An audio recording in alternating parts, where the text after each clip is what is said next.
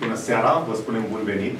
Ne bucurăm pentru ocazia asta de a fi împreună și de a dialoga despre idei care contează.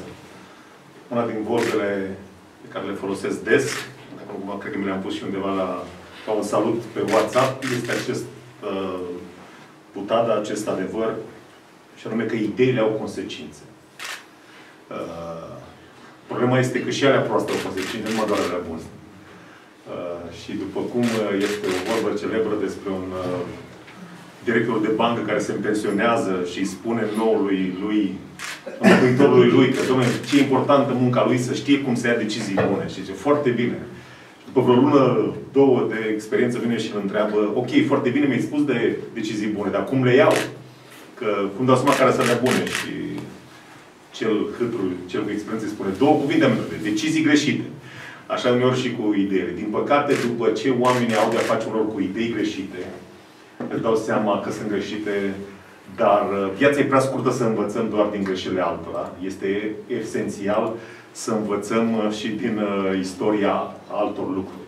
Și de aceea, în numele Asociației Civice Alternativa Dreaptă, vă salutăm și ceea ce am vrut noi să facem, și de asta suntem și alături de Remus Tănase și Russell Căr România în acest efort, noi vrem să dăm ocazia oamenilor, prin astfel de evenimente, prin dezbateri, prin discuții, prin transmisii live, uh, să audă, să intre în dialog, să comunice cu oameni care au ceva de spus, cu oameni care au studiat, cu oameni care au trecut printr-o discernere a ideilor bune și a celor mai, mai puțin bune.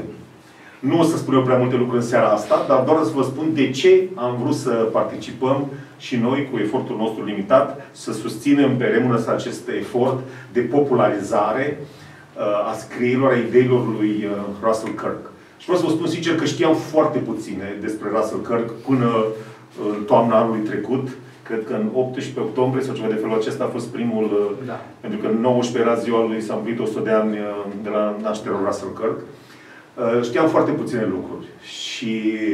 Dar acum am dat seama de ce știam așa de puțin. Pe lângă faptul că nu am dat suficient atenție unor lucruri, îmi dau seama că de ce nu e genul de autor pe care l-am învățat prea mult la școală și nici măcar în perioada asta de libertate nu auzim foarte multe. Omul acesta era un titan al gândirii. Era un titan al gândirii conservatoare.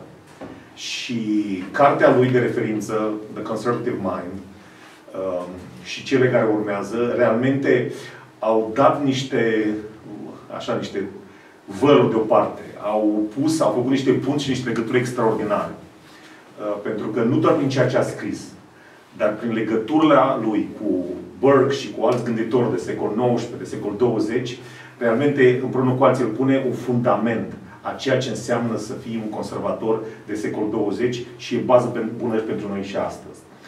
Um, ce e foarte important în ce spune el, și sunt convins că și asta este parte din discuția din seara asta, apropo de ordinea morală, de ordinea transcendentă, ca un prim principiu al conservatorismului, uh, el, pe lângă cele șase, dacă nu greșesc, principii de bază a ceea ce înseamnă să fii conservator, a spus puțin și despre câteva principii ale celor care îi se opun lui, ale celor care sunt, să zicem așa, în curentul de astăzi progresist.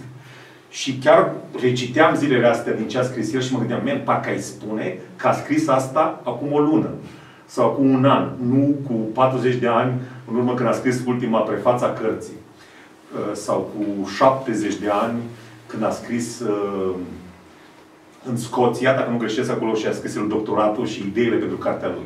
Și acolo spune foarte clar despre dorința unora ca numele egalității să lupte împotriva oricărei forme de tradiții și să creadă în progresul continuu, că totul poate să fie mai bun și mai bun și mai bun. Noi, din păcate, în 1953, când a scos el cartea, noi trăiam în România, cei care trăiau atunci, ce însemna binefacerile egalitarismului comunist. Pentru că a fost unul din anii, un anii de groază ai terorii la începutul anului 50 și 53 până la moartea lui Stalin, dacă nu greșesc, a murit în 53, stătucul popoarelor. Închei această scurtă introducere cu ceea ce spuneam și la început. Ideile au consecințe. Și de aceea mă bucur foarte mult și uh, că putem fi parte din lucrul ăsta și să fim martori și la premiera oamenilor care au scris niște eseuri interesante și o să auzim imediat despre asta. Îl salut încă o dată pe amicul Remus și îl felicit pentru intuiția lui uh, de a, de a înțelege că e important ca România să fie cunoscut Russell Kirk. Te felicit pentru rezultat și vă doresc un dialog bun și o seară bună. Mulțumesc.